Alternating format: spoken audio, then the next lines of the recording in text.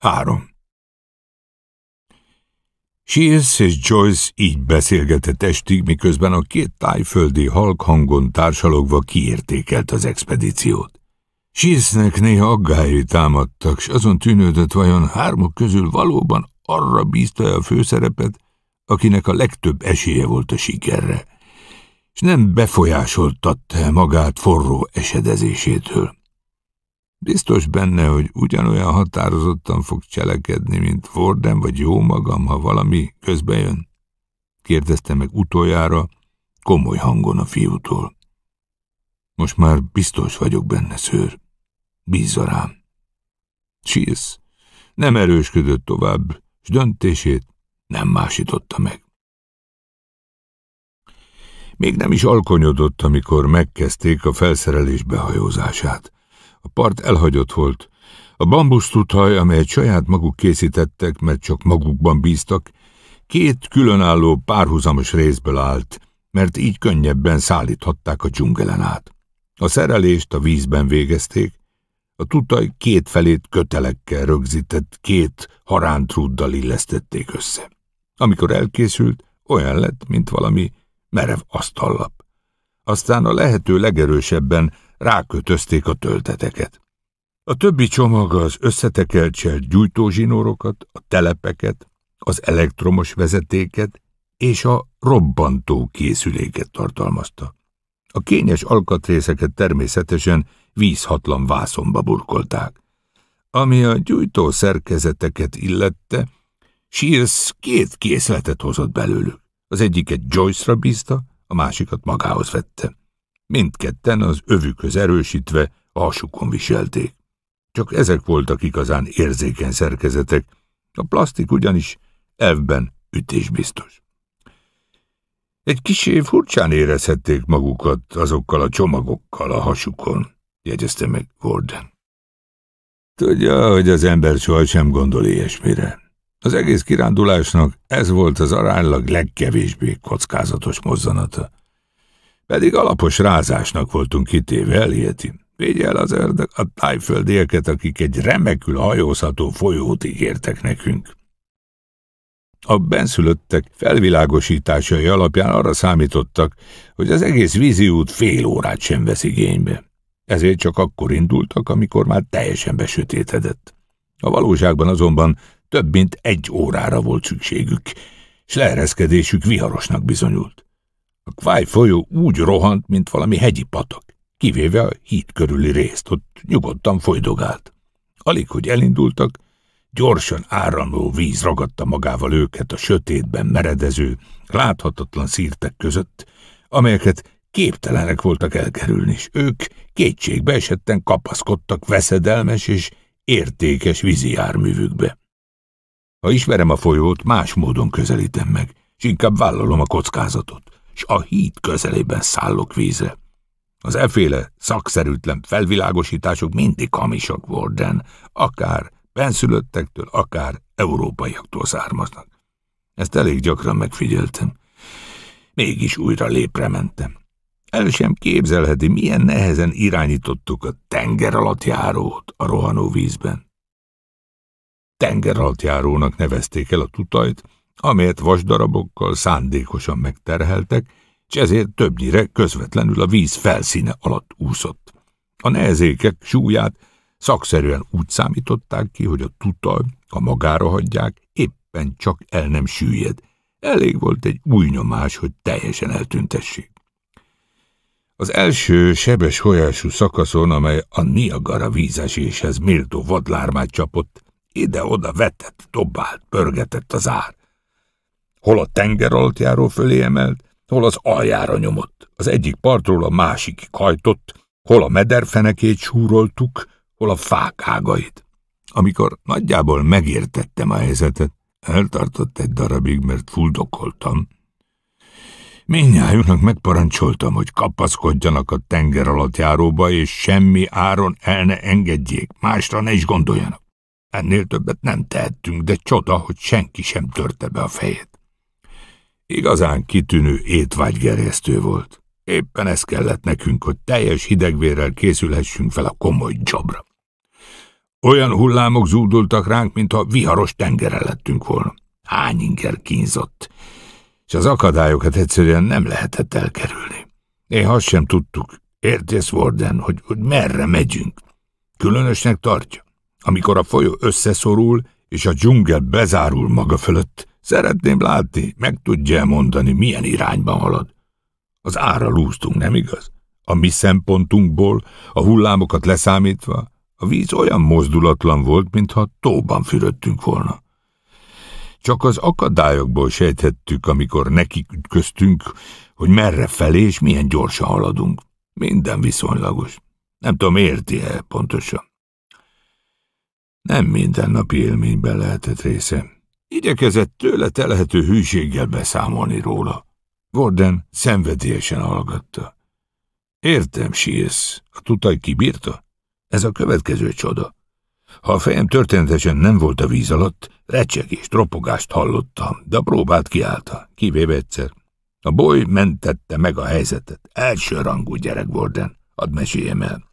Az első sebes folyású szakasz vége felé, amikor kezdtünk már lassan hozzászokni a sötétséghez, az ár nekivágott minket egy hatalmas sziklának, amely a folyó kellős közepén meredezett.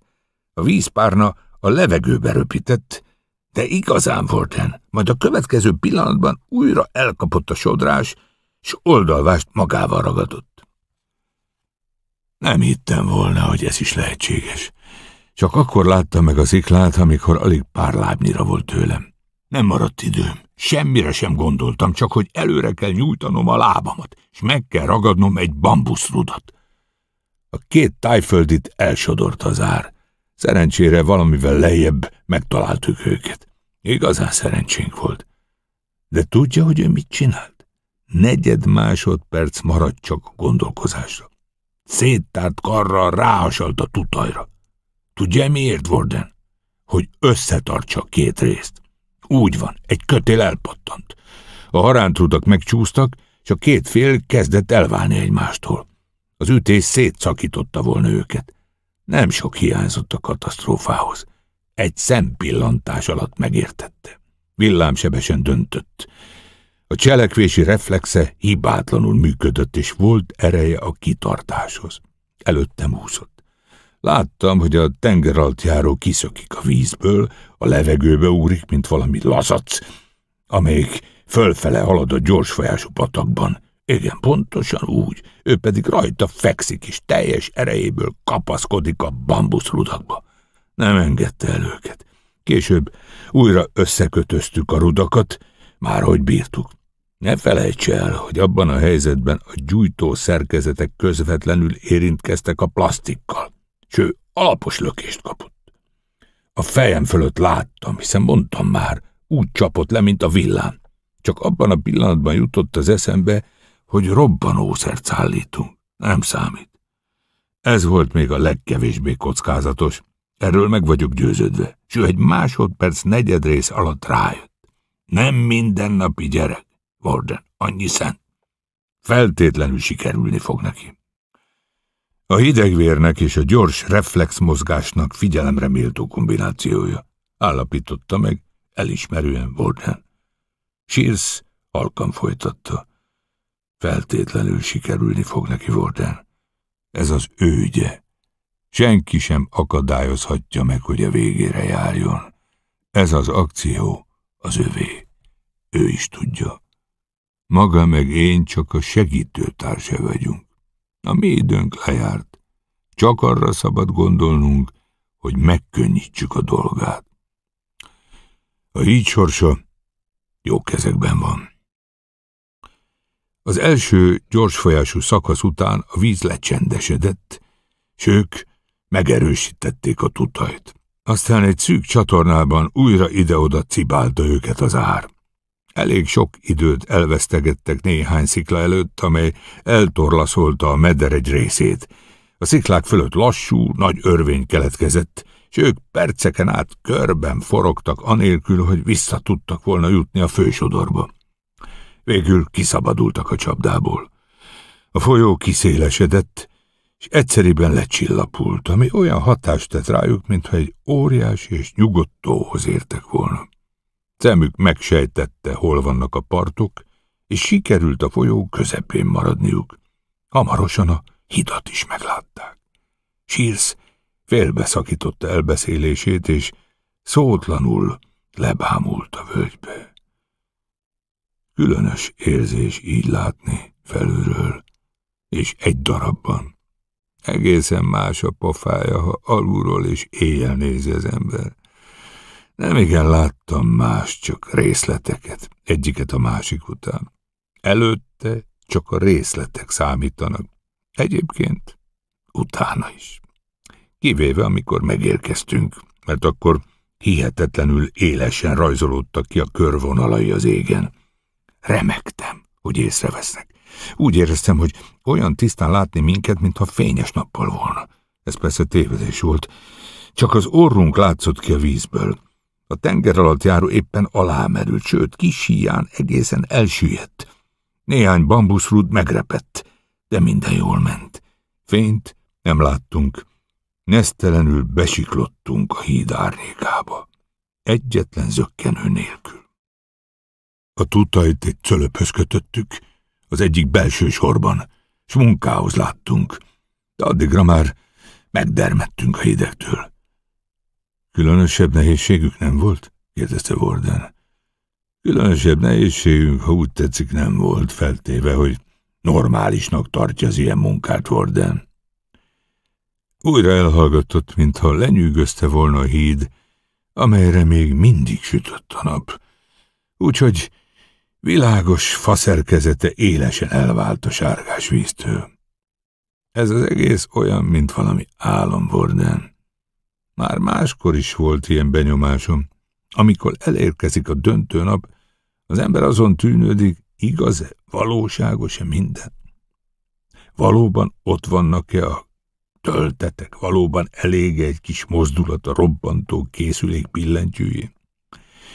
Mindez teljességgel lehetetlennek látszik. Joyce ott van, alig száz méternyire a japán őrszemtől. Ott van a vörhenyes fa mögött, s a hidat nézi. Fogadni mernék meg sem moccant, mióta magára hagytam. Gondoljon rá, Varden, mi minden történhet még holnapig. Elég, hogy japán katona szórakozásból üldözni kezd egy kígyót a dzsungelben. Nem kellett volna otthagynom. Ma éjjel is elfoglalhatta volna helyét. Nála van a tőre, mondta Vorden. Minden rajta múlik. Mesél, hogyan végződött az éjszaka? az ember sokáig tartózkodik a vízben, a bőre olyan érzékeny lesz, hogy egy érdes tárgy érintése már önmagában is fájdalmat okoz. Különösen a keze sínyli meg. A legkisebb surlódástól foszlányokban válik le a bőr az ujjairól. Mindjárt az elején nehezükre esett kioldani a kötelékeket, amelyek a felszerelést a tutajhoz erősítették. A benszülöttek készítette durva köteleket, szúrós bolyok borították. Gyerekségnek látszik Warden, de abban az állapotban, amiben voltunk, s ráadásul a vízben zajtalanul kellett dolgozni. Nézze meg a kezemet. Joyce ugyanilyen. Újra lenézett a völgybe. Gondolatai nem tudtak elszakadni a másiktól, aki az ellenséges parton várakozott. Felemelte a kezét, és szemügyre vette a repedéseket, amelyeket a nap megkeményített, majd tehetetlen mozdulattal folytatta elbeszélését. Mindegyiküknek volt jó hegyes tőre, de dermet ujjai csak nehezen forgatták, és bármilyen megbízható robbantószer is a plastik nem tanácsos fémtárgyal bögdösni.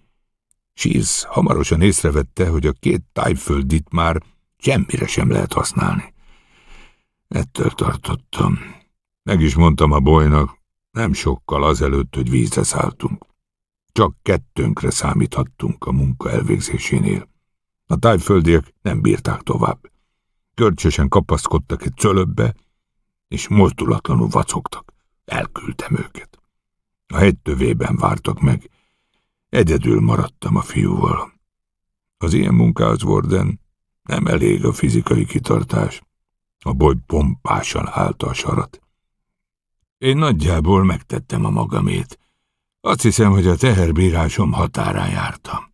Öregszem. Sorra leszerelték a tölteteket, és a rombolási tervben előírt helyre erősítették őket.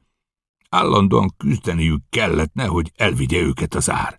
Lábukkal egyet cölöbbe kapaszkodva kellett jó mélyen a víz alá nyomkodniuk a plastikot, hogy észrevétlen maradhasson. Aztán a fához tapasztaniuk, hogy a robbanószer teljes erejével hasson. A víz alatt tapogatózva kötözgették azokkal az átkozott kötelekkel, amelyek horzsoltak és szúrtak, és véres barázdákat szántottak a kezükön. A köteleket meghúzni és megkötni, már ez az egyszerű feladat is szörnyű gyötrelmet okozott. A végén lebuktak a víz alá, és a fogukkal segítettek maguknak. Ez a tevékenység az éjszaka jó részét igénybe vette. A következő feladat kevésbé kínos, annál kényesebb volt. A gyújtó szerkezeteket a töltetekkel egyidejűleg rakták a helyükre. Most össze kellett kapcsolni őket a pillanatgyújtó zsinórok hálózatával, hogy valamennyi robbanás egyszerre következzék be. Ez a feladat nagy higgadságot igényel, mert a legkisebb tévedés is sok kellemetlenséget szerezhet. Egy rombolási szerelés hasonlít egy kicsit az elektromos szereléshez, minden alkatrésznek a helyén kell lennie. Az övé kisé bonyolult volt, mert number van ezúttal is jókora biztonsági hányadossal számolt, és megkettőzte a gyújtó zsinórok és gyújtó szerkezetek számát. A zsinórok elég hosszúak voltak, és a tutajon nehezékül használt vasdarabokat kötözték hozzájuk, hogy elmerüljenek. Végre minden elkészült. Azt hiszem, nem végeztünk rossz munkát. Ragaszkodtam hozzá, hogy még egyszer megnézzek minden cölepöt. Felesleges volt. Joyce felől nyugodt lehettem. Biztos vagyok benne, hogy semmi sem fog elmozdulni. Kimerültek voltak, minden tagjuk fájt, és majd megfagytak, de minél közelebb jutottak a munka befejezéséhez, annál nagyobb lelkesedés vett erőt rajtuk. Szétszették a tengeralattjárót, és a bambuszrudakat egyenként leeregették a vízen. Nem maradt más hátra, mint hogy maguk is eltávolodjanak a hídtól, és közben kiúszanak a jobb partra.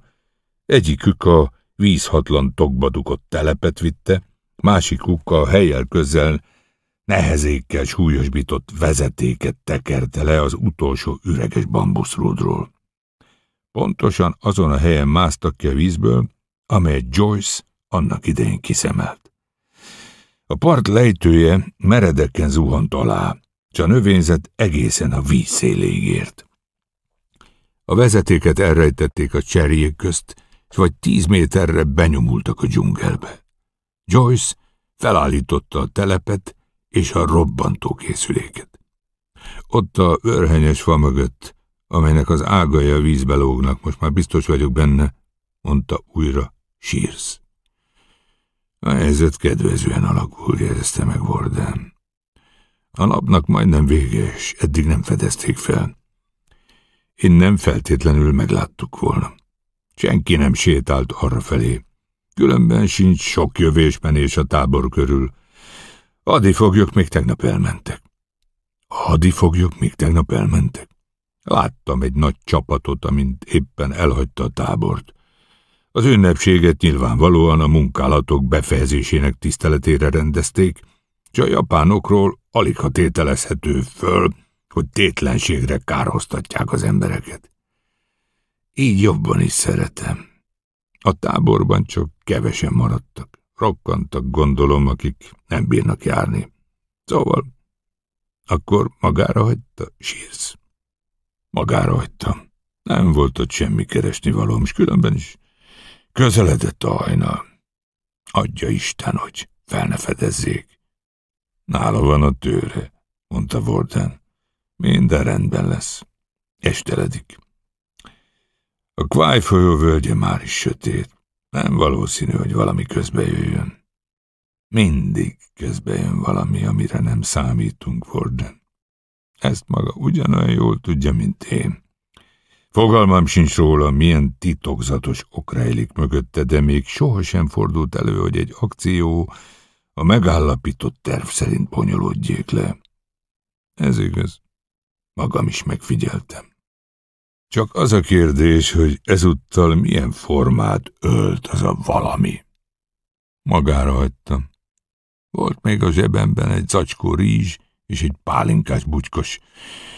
Ennyi maradt a készleteinkből. Ugyanolyan gondosan őrizgettem, mint a gyújtó szerkezeteket. Ittunk egy-egy kortyot, a többit nekiadtam. Még egyszer kijelentette, hogy bízik magában. Aztán egyedül hagytam. Négy. Shields hallgatja a Kwai folyó szakadatlan zúgását, amelyet megszűr a tájföldi dzsungel, és különös levertséget érez. Megszokta már gondolatainak és cselekedeteinek ezt a szünet nélküli kísérő zenéjét, de ma reggel nem ismer rá sem a hangerejére, sem a ritmusára.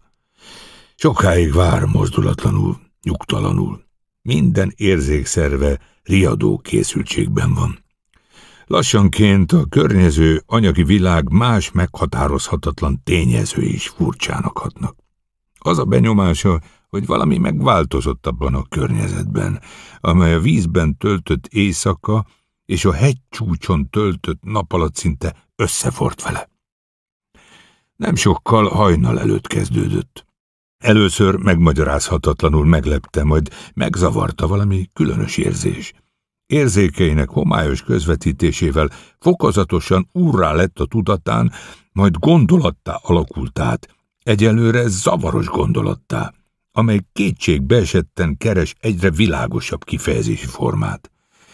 Napkeltekor még nem bírja pontosan megfogalmazni, csak a következő mondat telik tőle. Valami megváltozott a híd és a kváj folyó légkörében. Valami megváltozott. Halkan megismétli ezeket a szavakat. Sajátos érzéke van a légkörhöz, és ez szinte sohasem csalja meg. Közérzete egyre rosszabb, végül aggodalom vesz erőt rajta, és ezt éjszokokkal próbálja eloszlatni. Nyilvánvaló, hogy valami megváltozott, de ez természetes. A zene is másképpen szól, ha máshonnan hallgatjuk. Most az erdőben vagyok a hegylábánál. A vízhang itt más, mint a hegy csúcson vagy a vízben. Ha ez a munka sokáig tart, a végén szózatokat fogok hallani. Kinéz a lombok közt, de semmi különöset nem észlel. A hajnal éppen csak megvilágítja a folyót. A túlsó part egyelőre tömör szürkeségbe burkolózik. Rákényszeríti magát, hogy ne gondoljon másra, csak a haditervre, és az akció pillanatát váró különböző csoportok elhelyezkedésére. Az akció küszöben áll. Éjjel négy partizánnal lejött a figyelőállásból. Azt a helyet foglalták el, amelyet Warden a vasútvonaltól nem messze a sinek fölött kiválasztott. Maga Warden két másik tájföldivel odafönt maradt az aknavetők mellett. Onnan tekinti át az egész színteret, készen rá, hogy a nagy csapás után beavatkozzék. Number van, határozott így. Megértette a barátjával, hogy minden fontos poszton szükség van parancsnokra, egy európaira, aki, ha kell, dönteni tud. Nem lehet mindent előre látni és előre kiadni a végleges parancsokat. Gordon fejet hajtott. Ami a harmadik, a legfontosabb láncemet illeti, az egész akció rajta múlik. Joyce most már több mint 24 órája van odaát. Sírszel éppen szemben. A vonatot várja. A szerelvény éjjel elindult bankokból. Hírt is kaptak róla. Valami megváltozott a légkörben. Most már a golyószóró mellé rendelt tájföldi is nyugtalankodni kezd. Feltérdel, úgy kémleli a folyót. Sírsz aggodalma nem szűnik. A bennem motozó érzés még mindig szeretne pontosabb kifejezést találni, közben azonban kibúvik az elemzés alól. Sírsz gondolatai vadul ostromolják a kétségbejtő rejtét. A zaj nem ugyanaz. Erre hajlandó volna megesküdni. A sísz mesterségét űző emberek ösztönösen és nagyon gyorsan emlékezetükbe vésik a természet elemeinek szimfóniáját. Két-három alkalommal is hasznot húzott már belőle. Az örvények csobogása, homokhoz surlódó vízmolekulák sajátos sziszegése, az áradatban hajladozó faágak ropogása, mindez ma reggel másféle, halkabb hangversennyel szolgál. Igen, halkabban szól, mint az este, ez biztos. Sírsz komolyan eltűnődik. Hát, ha kezd megsiketülni, vagy az idegei vannak ilyen rossz állapotban? De az lehetetlen, hogy a tájföld is éppen most siketüljön meg. Aztán van itt más is. A benne motozó érzés egy másik eleme hatol hirtelen a tudatába. A szak is más lett. A kváj folyó szaga sem ugyanaz ma reggel. Mindent elnyom a nedves iszap kigőzölgése, mintha csak halastó partján lennének. River Quiet Down kiált fel egyszer a tájföldi, és minthogy a fény lassan életre kelti a szemközti part részletét. Sírsz, előtt hirtelen minden megvilágosodik. A fa, a nagy, vörhenyes fa, amely mögött Joyce rejtőzik. Az ágai nem lógnak többé a vízbe. A Kwai folyó leapadt. A szintje lejjebb szállt az éjjel. Mennyivel? Talán egy lábbal. A fa előtt a meredek lejtő tövében kavicsos partszegély bukkan elő. Itt-ott még vízcseppek látszanak rajta, és csillog a kelő napfényében. A felfedezés első pillanatában Sírzt elégedettség tölti el, amiért magyarázatot talál rossz közérzetére, és újra tudja, hogy bízhat idegeiben. Érzése nem csalta meg. Még nem bolond. A hullámzás nem ugyanaz többé, sem a vízé, sem a fölötte keringő levegőé. A változás valóban az egész környezetre kihat. A még nedves, új földszegély magyarázatot ad az iszapszagra. A katasztrófákat sosem fogja fel egy pillanat alatt az ember. A szellem renyheségének bizonyos időre van szüksége. Sísz csak egyenként fedezi fel a lezajlott hétköznapi esemény végzetes következményeit. A Kvaj folyó leapadt. A vörhenyes fa előtt széles, lapos terület látható, amelyet tegnap még víz borított. A vezeték, az elektromos vezeték, Sír szájából trágár kiáltás csúszik ki a vezeték. Előrántja távcsövét, és mohon kutatja az év folyamán felbukkant szilárd talajt. A vezeték ott van. Jókor a darabja került szárazra.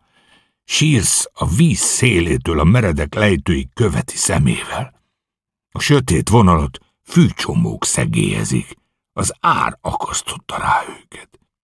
De azért nem nagyon feltűnő. Shiz azért találta meg, mert kereste. Könnyen észrevétlen maradhat, ha egyetlen japán sem megy arra. De a magas part, amelyet azelőtt meg sem lehetett közelíteni. A meredek lejtő alatt most megszakítatlan partszegély húzódik. Valószínűleg egész a hídig. Innen nem látni hidat. Szinte hívogatja a sétálókat. A dühös sírsz legalább úgy látja. A vonatot váró japánoknak azonban éppen elég elfoglaltságuk lehet, ami megakadályozza őket, hogy a vízpartján kódorogjanak. Cheers megtörli homlokát. Az akció sohasem követi híven a tervet. Az utolsó pillanatban egy köznapi, közönséges, néha groteszk esemény mindig felforgatja a legjobban előkészített programot is. Number one Bűnös hanyagsággal vádolja magát, amért nem látta előre a folyó apadását, és épp ezen az éjszakán kellett bekövetkeznie, nem másnap éjjel, és nem is két éjszakával korábban. A nyílt part, amelyen egy fű csomó sincs, amely mesztelen, mesztelen, mint az igazság, magához vonza a szemet. A kváj folyó szemlátomás csokat apadt. Egy lábnyit, két lábnyit, talán többet is, az Istenit.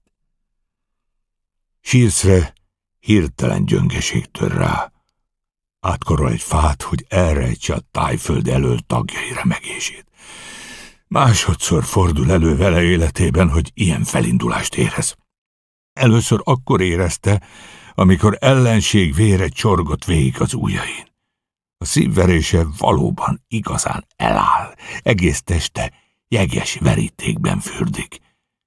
Két lábnyit, talán többet is. Mindenható Isten, és a töltetek, a plastik töltetek a híd szölöpjein.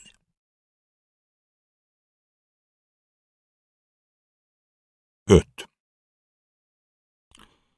Joyce sokáig állt zsibbadtan, miután Shears megszorította a kezét, és magára hagyta őrején. A bizonyosság, hogy ezentúl csak a saját erejére számíthat, alkoholmámorként bódította el az agyát. Teste nem érezte az elmúlt éjszaka fáradtságát, sem víztől átitatott ruhája jeges érintését. Még sohasem tapasztalta, hogy a tökéletes magány egy hegycsúcson vagy a sötétben a hatalom, a mindenhatóság ilyen érzésével töltheti el az embert. Amikor kitisztult az agya, kénytelen volt meggyőzni magát, hogy még a közelgő napfelkelte előtt el kell intéznie néhány szükséges dolgot, különben ki van szolgáltatva pillanatnyi gyöngeségeinek.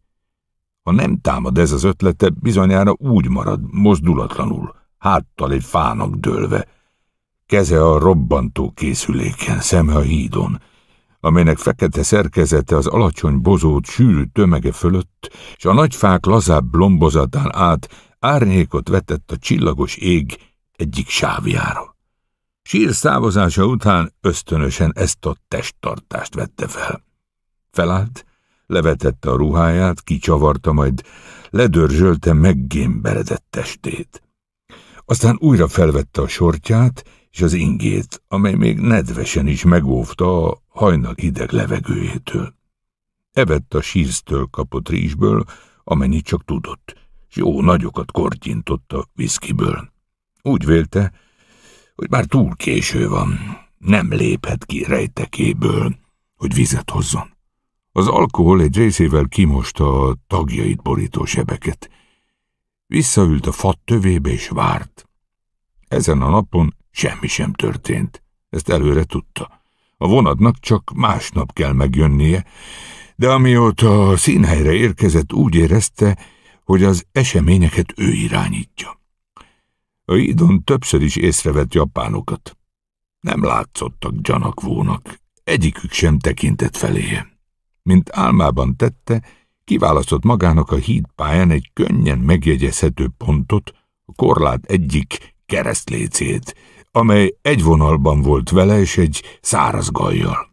A teljes hossznak éppen a közepét, vagyis közvetlenül a végzetes rész elejét szemelte ki. Ha a mozdony odaér, vagy inkább egy-két méterrel előbb, teljes súlyával ránehezedik a robbantó készülék fogantyújára. Miután a vezetéket kikapcsolta, húszszor is kipróbálta ezt az egyszerű mozdulatot, hogy beidegezzes, közben gondolatban nyomon követte az elképzelt mozdonyt. A készülék jól működött. Gondosan megtisztította és letörölgette, ügyelve rá, hogy a legkisebb piszkot is eltávolítsa róla. A reflexei is hibátlanok voltak. A nap gyorsan eltelt. Az éjszaka leszálltával leereszkedett a lejtőn. Hosszú kortyokban itta a sáros vizet, megtöltötte a kulacsát, majd visszatért rejtekeire. Engedélyezett magának egy kis szundikálás, de a testtartásán nem változtatott, továbbra is a fának dőlt. Ha a vonat menetrendje véletlenül módosul, akkor is meghallja közeledését, ebben biztos volt. Ha az ember eltölt némi időt a dzsungelben, nagyon gyorsan megszokja, hogy öntudatlanságában is az állatok éberségével figyeljen. Alvása többszöri kis bóbiskolás volt, amelyet hosszú virrasztások szakítottak meg. De akár szúnyókált, akár ébren volt, kalandjának foszlányai különös módon váltakoztak múltja emlékeivel, amelyeket Sírsz társaságában idézett fel, mielőtt a folyóra bízták volna magukat. A poros rajzteremben volt, ahol életének néhány legfontosabb éve telt el, vége érhetetlen mélabús órákban a rajztábla előtt, s ő végtelen napokon át egy reflektorlámpa fényében görnyedezett. A hoztartó, ez az acélgerenda, amelyet sohasem látott a valóságban, ott kérkedett a papíroson kétsíkú, jelképes ábráival, amelyek egész ifjúságát kisajátították. Az alaprajz, az oldalnézet, az elölnézett, a sok metszet ott született meg a szem előtt, és ott volt a bordák minden részlete is, amelyek szakszerű elrendezése lehetővé tette, hogy végre két évi homályos tapogatózás után másfél font acélt megtakarítson. Ezekre az ábrákra, ezekre a bordákra most apró barna négyszögek tapadtak, ugyanolyanok, amilyeneket Warden rajzolt a híd nagy léptékű tervrajzának 24 cölöpjére. A cím, amelyet görcsös, gyötrelmes lassúsággal rajzolt a végtelen sok másolat mindegyikére, a rond írásos cím egyre nagyobbodott, majd összekuszálódott a szem előtt. Hiába próbálta követni a betűit. Szétszóródtak az egész rajzlapon, és a végén újra összeálltak, mint néha a mozivásznon, amikor bemutatnak egy filmet, és a címből új szó bontakozik ki. Az új szó rombolás. Ragyogó tintával írt nagy fekete betűi visszaverték a reflektorlámpa fényét, és minden más jelképet elmosva ellepték Lidérsz nyomásának vetítővásznát. Ez a látomás valójában nem zaklatta bármikor elkergethette. Elég volt kinyitni a szemét. Az éjszakának az az úgás, ahol sötéten kirajzolódott a híd a Kváj folyón, elkergette a múlt poros kísértéseit, s ráébresztette a valóságra. Az ő saját valóságára. Az esemény bekövetkezése után meg fog változni az élete már is ízlelgette a siker balzsamát, és közben saját átalakulását is érezte. Pirkadatkor, nagyjából ugyanabban a pillanatban, mint Sízben, a Kváj folyó érzékelhető kisugárzásának változása benne is rossz közérzetet idézett elő. Az átalakulás annyira folyamatos volt, hogy ernyedsége miatt eleinte fel sem fogta. Vackából csak a hídpályát látta. A folyó Rejtve volt előtte, mégis biztosra vette, hogy nem téved. Meggyőződése kis idő múltán nyomasztóan hatott rá, és elviselhetetlennek érezte, hogy továbbra is tétlen maradjon. A bokrok közt a folyó felé kúszott. Eljutott az utolsó lombfátyolig, és kinézett. Tüstént megértette nyugtalanság okát, amikor a kavicsos parton felfedezte az elektromos vezetéket. Gondolatai, amelyek ugyanazt az utat járták végig, mint sílszéi, fokozatosan eljutottak addig a pontig, ahol elébe tárult a jóvá tehetetlen összeomlás. A plastik töltetekre gondolva ő is ugyanazt a megrendülést érezte. Új helyéről láthatta a cölöböket. Csak fel kellett emelni a fejét. Kényszerítette magát, hogy megtegye ezt a mozdulatot. Elég sokáig kellett figyelnie, hogy megállapítsa, mekkora veszélyt szabadított rájuk a Kváj folyó szeszélyes mozgása. Még figyelmes vizsgálat után sem bírta pontosan felmérni, s kétség és remény közt lebegve követte az ár jóvoltából a híd körül keletkező ezer apró vízfodor játékát. Az első pillantásra derűs boldogság áradt szét benne, és elernyeztette idegeit, amelyek előző gondolata nyomán görcsösen megfeszültek a borzalomtól.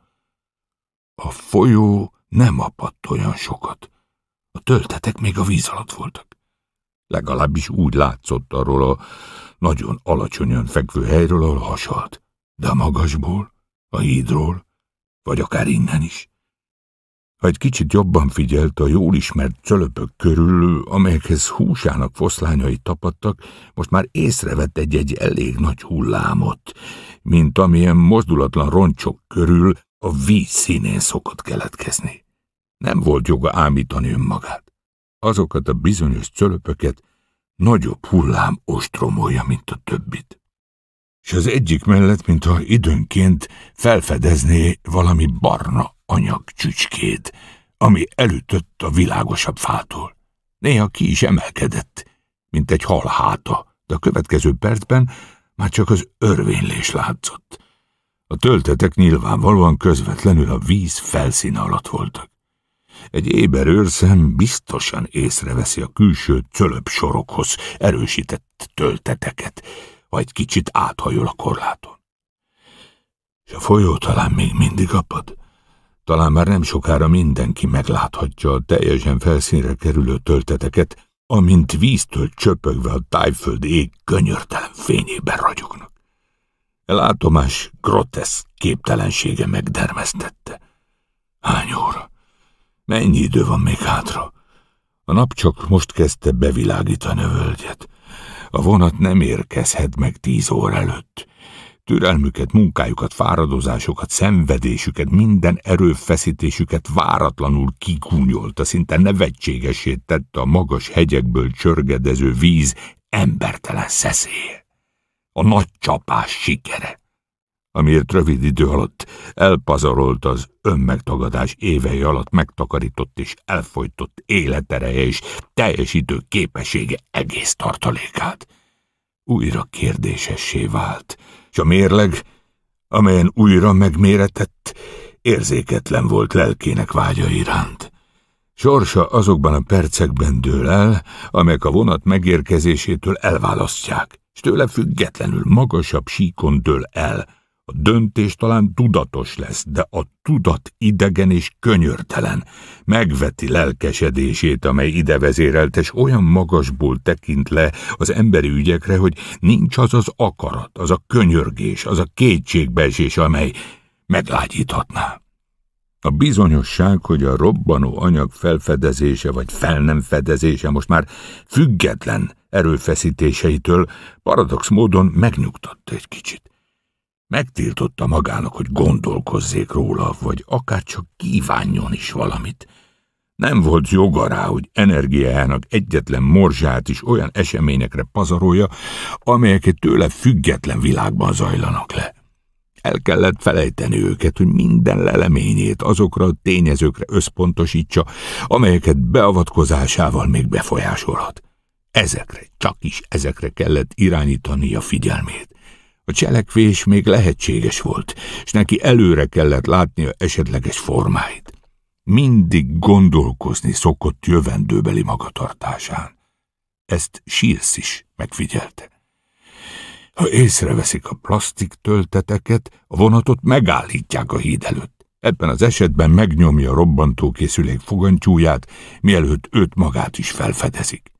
A kárt ki lehet majd javítani. Félig kudarcot val, de ennek igazán nem ő lesz az oka.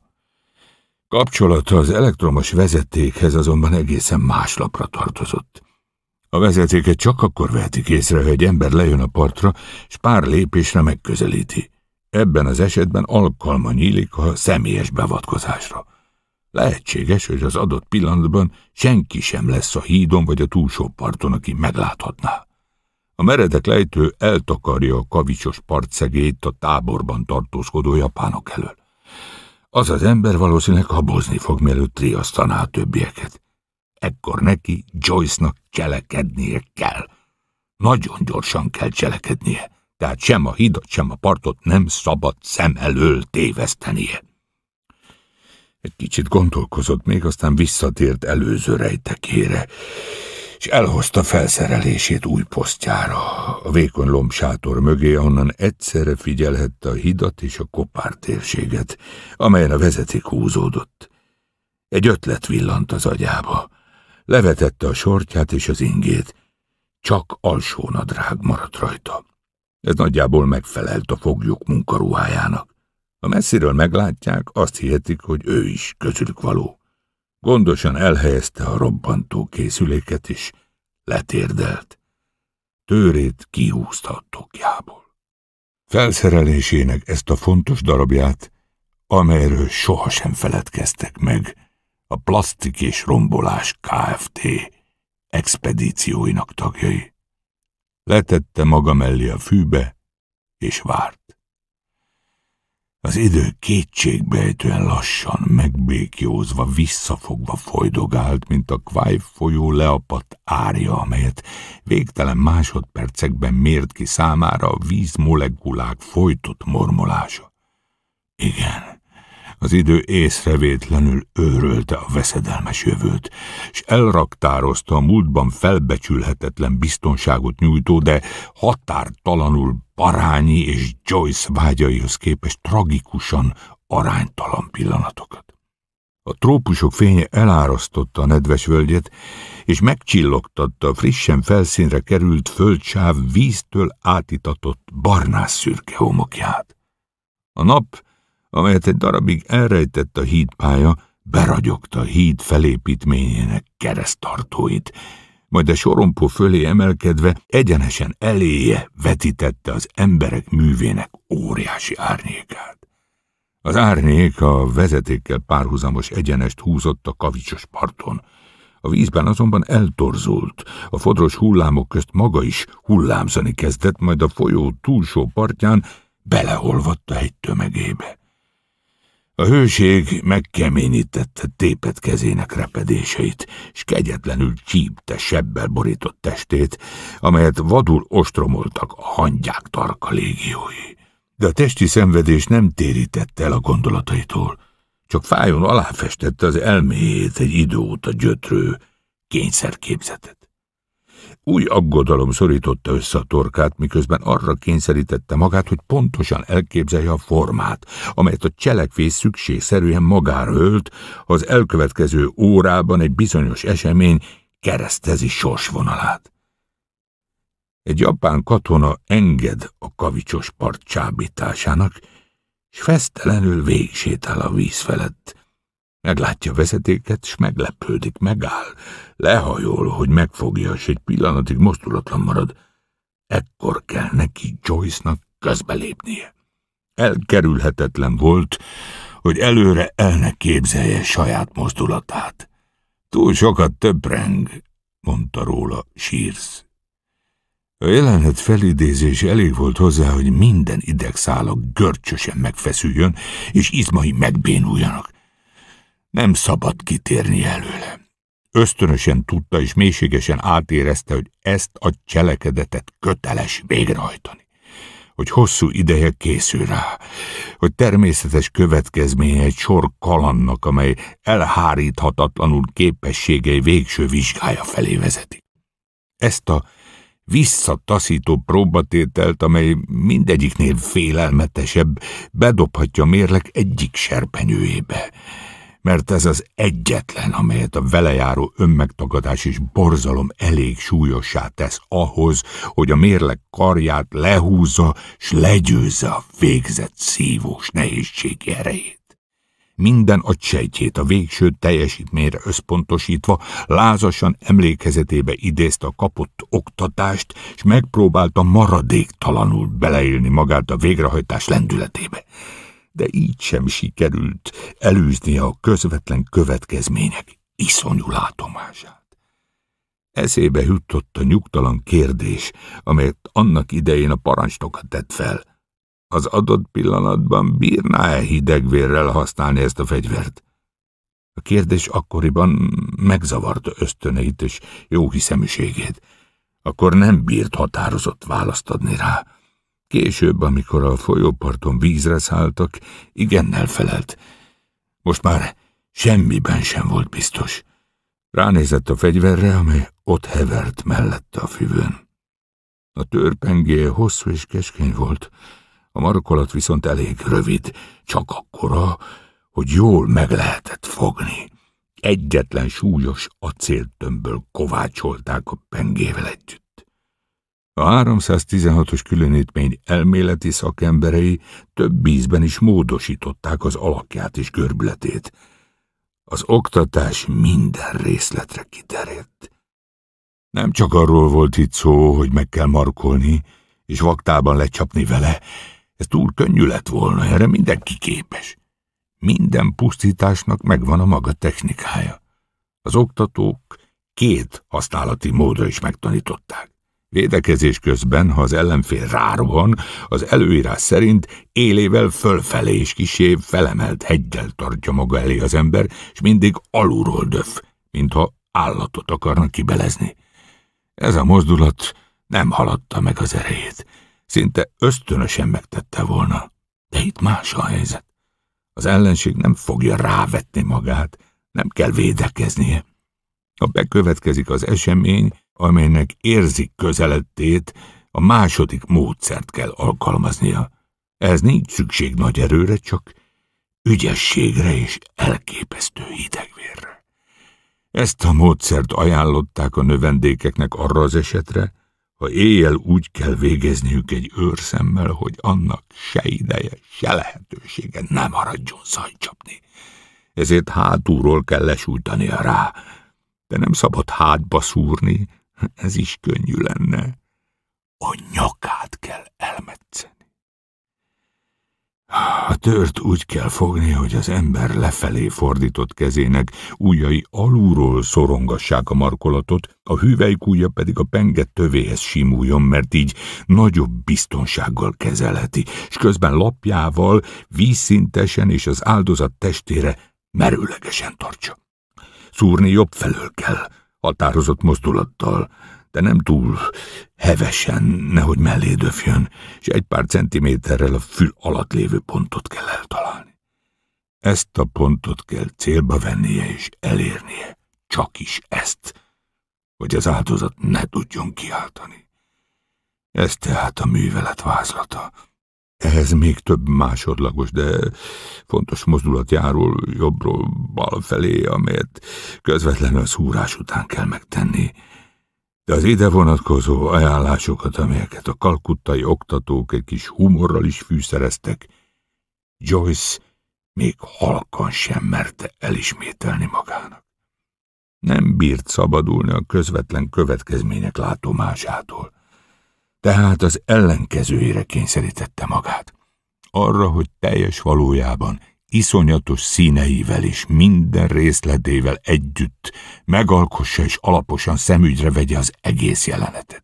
Erőltette magát, hogy legszörnyűbb mozzanatait is elemezze, mert eszeveszett reménnyel hitte, hogy eltelik velük, és eljut a megszokás teremtette közönyig tízszer, húszszor átélte a jelenetet, és lassan-lassan odáig vitte, hogy már nem pusztán látomást, nem bizonytalan belső képzetet vetített maga elé, hanem egy embert a parton, egy egyenruhás japán katonát teljes valójában, különös sípkájában, amely alól kilátszik a füle, és valamivel lejjebb az a darabka barna hús, amelyet félig kinyújtott karjával zajtalanul célba vesz. Megparancsolta magának, hogy érezze, felmérje a hús ellenállását, hogy megfigyelje a vér kibudjanását, és a görcsös rángás miatt összeszorított öklet tengelyében a tör makacsul elvégzi a másodlagos műveleteket, és bal karja vadul lecsap, és megmarkolja az áldozat nyakát. Mérhetetlenül sokáig vergődött a képzelt borzalmak mélységében. Erőfeszítéssel edzette testét, hogy engedelmes és érzéketlen gépezetté váljon, míg csak valamennyi izmában nyomasztó fáradtságot nem érzett. Még mindig nem volt biztos magában. Meghökkenve tapasztalta, hogy felkészülési módszere hatástalan. Félelme önnön gyöngeségétől a mulasztás gondolata ugyanolyan kíméletlenül gyötörte, mint kötelességének látomása. Két szörnyűség között kellett választania. Az első gyalázatos, és ugyanannyi borzalommal telíti a szégyennel és lelkifurdalással terhes, vége érhetetlen időt, mint amennyit a második, az iszonyatos cselekedet pár másodpercébe sűrít. De az első passzivitást követel csupán, mozdulatlan gyávaságot, és éppen könnyűségének aljas csábításával bűvöli el kegyetlenül.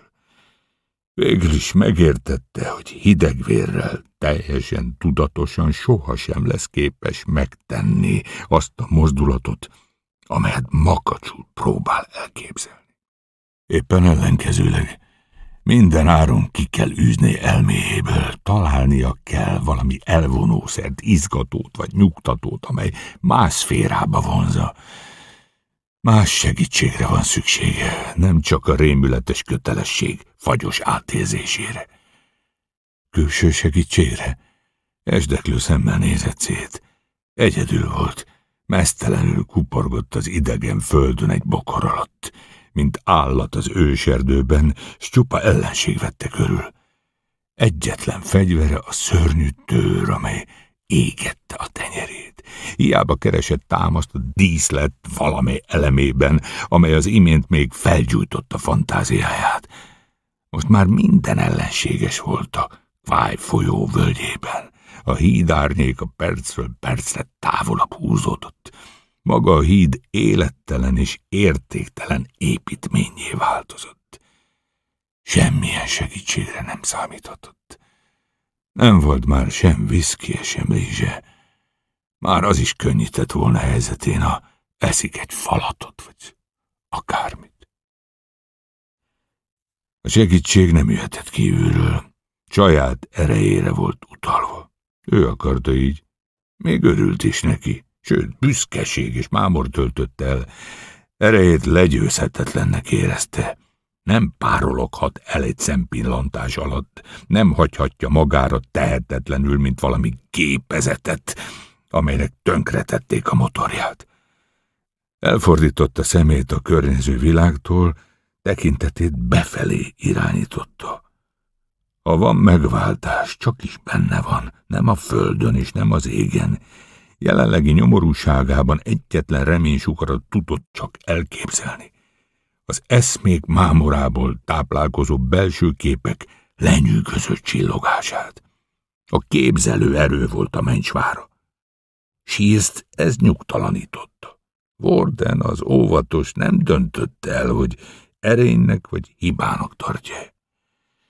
A kényszerképzet rontását az önként vállalt kényszerképzet ellenmérgével fogja leküzdeni.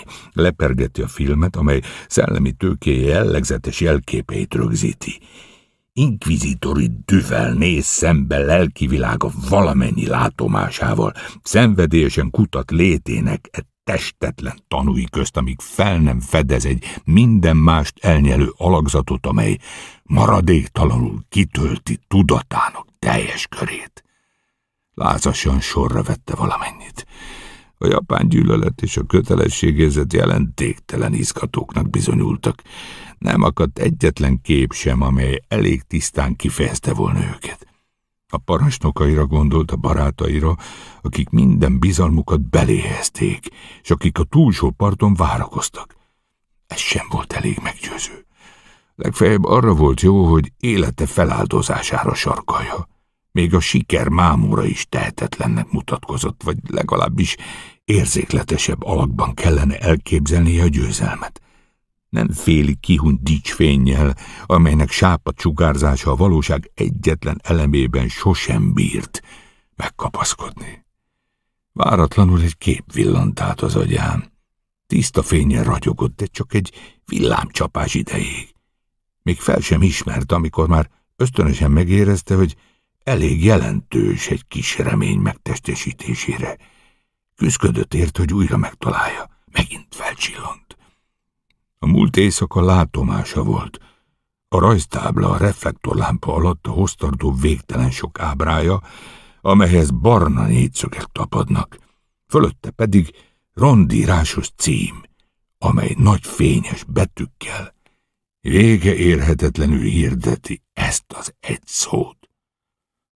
Rombolás. Többé nem homályosult el. Attól a perctől fogva, hogy ösztöne hívására diadalmasan urrá lett gondolatain, biztosan érezte, hogy egyedül ez elég szilárd, elég tökéletes és elég hatalmas hozzá, hogy leküzdje nyomorult porhüveje írtózását és reszketését. Mámorító volt, mint az alkohol, és nyugtató, mint az ópium. Hagyta, hogy eluralkodjék rajta, s vigyázott rá, nehogy elszökjék. Az önhipnózisnak ebben az állapotában meglepetés nélkül vette észre a japán katonákat a Kváj folyó hídján. hat. Shields észreveszi a japán katonákat, és újra rettegésben él. Az ő számára is könyörtelenül lassított ritmusban búlik az idő. A töltetekre gondolva elvesztette a fejét, de azóta összeszedte magát. A partizánokat az őrhelyen hagyta, s maga kisé feljebb kapaszkodott egy oldalban. Egy olyan helyen állt meg, ahonnan jól áttekintette a hidat és a Kváj folyót. Felfedezte, és a távcsövön át megvizsgálta a cölöpök körül csapkodó kis hullámokat. Úgy vélte, hogy az örvények játékának megfelelően hol felmerül, hol eltűnik a barna anyag egy-egy csücske. Ösztöne, a szükség és a kötelesség egyaránt arra sarkolta, hogy lázasan törje a fejét, milyen személyes beavatkozással háríthatná el a sors csapását. Mindig akad valami, amit meg lehet tenni, egy akció, amit meg lehet próbálni.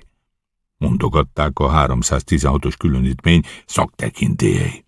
Amióta ezt a mesterséget űzi, először fordul elő, hogy semmi sem jut az eszébe, és átkozza magát tehetetlenségért. Számára a kocka el van vetve.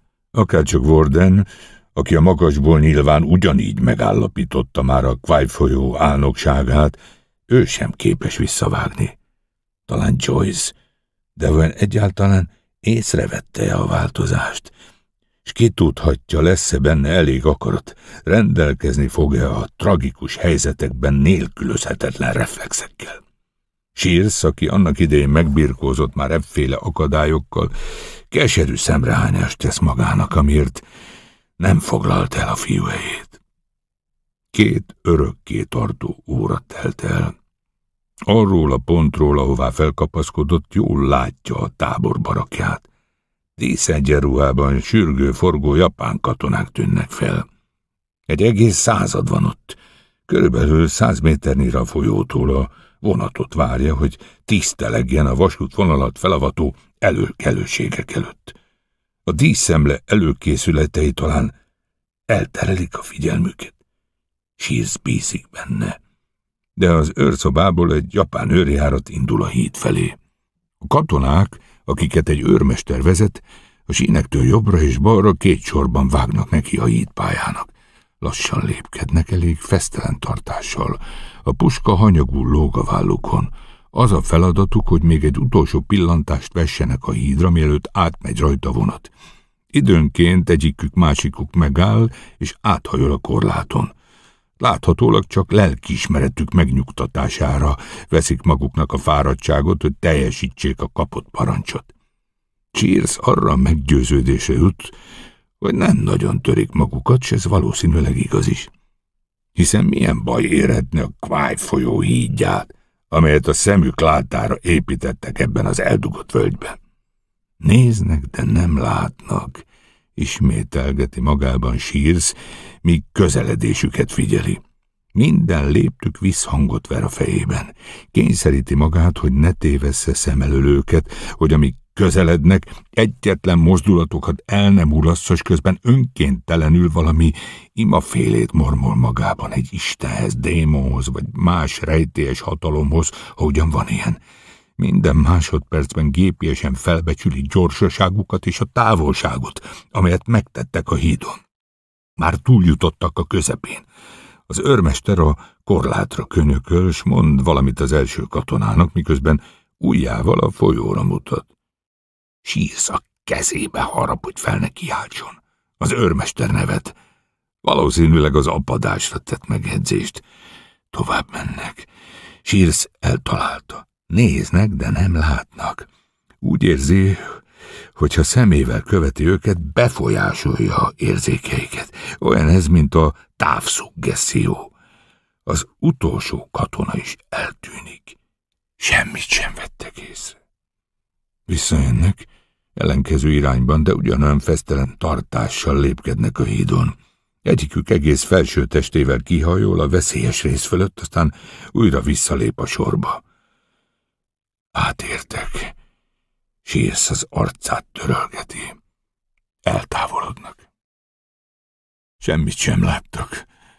Alkhangon gépiesen ismételgeti ezeket a szavakat, hogy megnyugtassa magát, Megtörtént a csoda. Féltékeny pillantással kíséri őket, csak akkor veszi le róluk a szemét, amikor csatlakoznak a századhoz. Mielőtt átadja magát az újabb reménykedésnek, különös büszkeség hatja át egész valóját. Az ő helyükben én nem lettem volna ilyen anyagsuttúja. Bármelyik angol katona észrevette volna a szabotást. Végre! A vonat már nem lehet messze. Mintha erre az utolsó gondolatra válaszolnának, az ellenséges parton rekett parancsszavak hangzanak fel. Katonák sűrögnek, forognak. Sírszat távolba néz. A láthatár szélén a síkság felől egy kis fekete füstfelhő árulkodik az első japán szerelvényről, amely keresztül szeli tájföldet. Az első csapatokkal, lőszerrel és fényes japán tábornokokkal telezsúfolt vonatról, amely át kell a Kwai folyó hídján. Sírszíve ellágyul. A rejtélyes hatalom iránti hálakönnyei kicsordulnak a szeméből. Most már semmi sem állhatja utunkat, mondja halkan. A kiszámíthatatlan sors utolsó fortéjával is megpróbálkozott. A vonat húsz percen belül megérkezik. Erőt vesz izgalmán, s leereszkedik a hegy tövébe, hogy újra átvegye a parancsnokságot a fedezék fölött. Miközben meggörnyedve halad a bokrok közt, vigyázva, hogy el ne árulja jelenlétét, nem veszi észre a túlsó parton azt a méltóság teljes külsejű tisztet, aki angol ezredesi egyenruhában a híd felé közeledik. Ugyanabban a percben, amikor Number One visszatér a posztjára, s feje még kóvályog az átért izgalmak özönétől, de érzékei már előre vetítik a káprázatos robbanást, a hozzá tartozó lángokat és romokat, a siker megvalósulását, Nicholson ezredes a Kváj folyó hídjára lép. Megbékélt lelkismeretével, a világ mindenséggel és Istenével. Szeme tisztább, mint a trópusok egevihar után. Vörös bőrének minden pórusával élvezi a jól megérdemelt pihenés örömét, mint derék mesteremberek nehéz munka után. Büszkeség tölti el, hogy bátorságával és kitartásával legyőzte az akadályokat. Kevélyen néz a műre, amelyet ő és katonái alkottak. Tájföldnek ebben az ugában, ahol már szinte hódítónak érzi magát. Könnyű szívvel gondol rá, hogy méltónak bizonyult őseihez, és nem mindennapi epizóddal gazdagította a birodalom építőkről szóló nyugati legendákat. Szilárdan hiszi, hogy nincs senki, aki jobb munkát végezhetett volna nála. Erőt merít a bizonyosságból, hogy a fajához tartozó férfiak minden téren különbek másoknál, és boldog, hogy ezt hat hónap leforgás alatt csattanósan bebizonyíthatta. Duzzad a parancsnok örömétől, ami minden fáradtságáért kárpótol, amikor a dicső eredmény kézzel foghatóvá válik. Apró kortyokban ízlelgeti a győzelem borát. Meg van győződve az elkészült mű nagyszerűségéről, és minthogy a végső megdicsőlés előtt egyedül és még egyszer számba akarja venni a nehéz munkával és hozzáértéssel készült alkotás minden kiválóságát, és még egy utolsó szemlét is szükségesnek tart, Nicholson ezredes, méltóság teljes léptekkel halad a Kváj folyó hídján. A hadifoglyok többsége és a tisztek már két napja elindultak gyalogszerrel egy gyülekező hely felé, hogy onnan Malájföldre, a szigetekre vagy Japánba utazva újra munkába álljanak. A vasútvonal elkészült. Befejezésének tiszteletére rendezték azt az ünnepséget, amelyet a kegyes szívű tokiói császári felség engedélyezett és rendelt el a Burmában és Tájföldön szétszórt valamennyi részlegnek. A Kváj folyó melletti táborban nem mindennapi pompával ünnepeltek. Nicholson ezredes kívánta így. Az ünnepség az egész vonal mentén azzal kezdődött, hogy magasrangú japán tisztek, tábornokok és ezredesek emelvényekre hágtak, s fekete csizmában, szürke kesztyűben, hadonászva és bólogatva, a nyugati világ szavait furán torzítva elmondták szokásos beszédüket, rokkant beteg, fekélyekkel borított fehér emberek légiói előtt, akiket a pokolban eltöltött hónapokon szinte már a józan eszüktől is megfosztottak. Szájtó rövid beszédet tartott. Természetesen a dél-ázsiai övezetet dicsőítette, és kegyesen pár köszönő szót intézett a hadifoglyokhoz is, amiért tanújelét adták hűségüknek. Clipton, akinek derűs nyugalmát súlyos megpróbáltatások érték az utóbbi időkben, amikor látnia kellett, hogyan vászorognak a haldoklók a munkahelyre, hogy befejezzék a hidat, sírni szeretett volna dühében. Utána még el kellett viselnie Nicholson ezredes kis beszédét is, amely tisztelettel adózott a hadifoglyoknak, és méltatta önmegtakadásukat és bátorságukat. Az ezredes befejezésül kijelentette, hogy szenvedésük nem volt hiába való, sőt büszke rá, hogy ilyen embereknek parancsolt. Magatartásuk és a balsorsban tanúsított méltóságuk példát mutat az egész nemzetnek. Ezek után következett az ünnepé. Az ezredes, akit ez közvetlenül érdekelt, aktív részt vett benne. Tudta, hogy a tétlenségnél semmi sem ártott többet az emberének, és ezért rengeteg szórakozásról gondoskodott a számukra, úgyhogy már az előkészületek is napokon át izgalomban tartották őket. Több hangversenyt rendeztek, azon kívül előadtak egy komédiát, amelyet maskarába bújt katonák játszottak, sőt, egy balettet is, jelmezes táncosokkal, ami őszinte kacaj csalt ki az ezredesből. Na látja, Clipton, mondta, maga többször megbírált engem, de én nem tágítottam. Tartottam a lelket az emberekben. Megőriztem a leglényegesebbet. A katonáim megállták a sarat. És ez igaz volt. A Kváj folyó melletti tábor szelleme érintetlen maradt. Ezt Cliptonnak is el kellett ismernie, ha egy pillantást vetett a körülötte lévő emberekre. Nyilvánvaló volt, hogy gyermeki ártatlansággal élvezték a mulatságot, és őszinte hurrázásuk senkiben sem hagyott kéteit kitűnő hangulatuk felől. Másnap a foglyok útnak indultak, csak a legsúlyosabb betegek és a rokkantak maradtak hátra. Ezeket a Burmából érkező legközelebbi vonat fogja bankokba szállítani. A tisztek is elmentek a katonáikkal. Reeves és Hughes bármennyire sajnálta is kénytelen volt csatlakozni a menetoszlophoz, mert egyiküknek sem engedélyezték, hogy jelen legyen, amikor az első vonat átmegy azon a hídon, ami annyi fáradtságukba került. Nicholson ezredesnek azonban megengedték, hogy ott maradjon, és megvárja, míg elkísérheti a betegeket. Szolgálataira való tekintettel Szájtó ezredes nem tagadhatta meg tőle ezt a kegyet, amelyet szokásos méltóságával kért. Nagy, erélyes léptekkel haladt, sarka diadalmasan kopogott a hídpályán. Győzött. A híd elkészült. Fényűzőnek nem lehetett mondani, de nem hiányzott belőle az a gondos kidolgozás, ami a nyugati népek erényeit tájföld ege alatt is megcsillogtathatja. E pillanatban valóban itt volt a helye.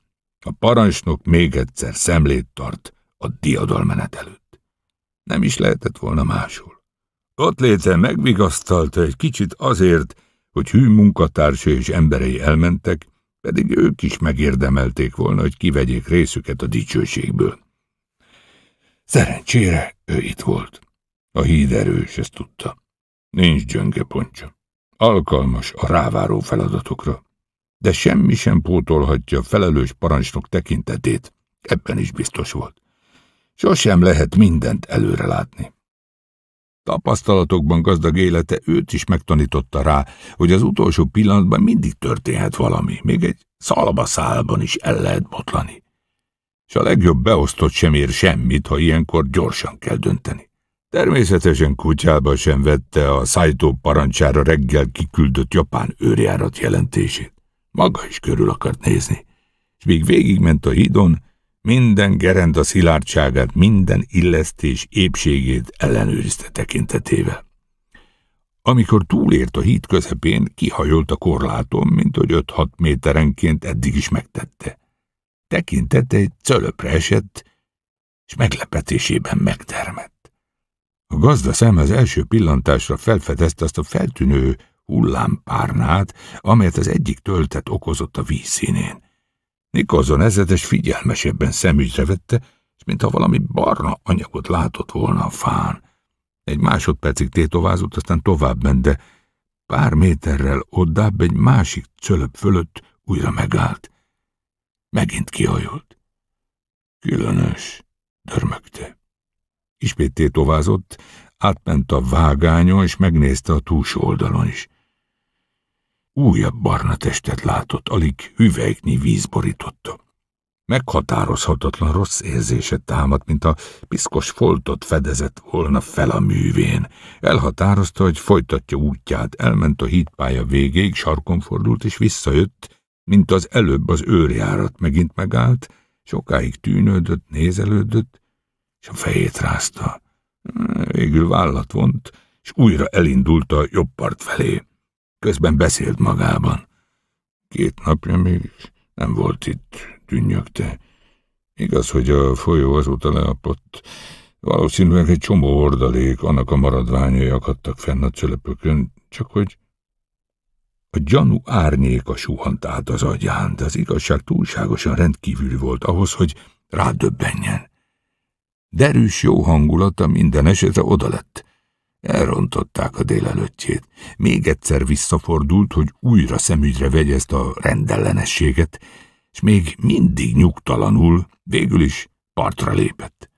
Lehetetlen, dörmögte, miközben újra szembenézett a lelkében egy pillanatra megfogalmazott gyanúval.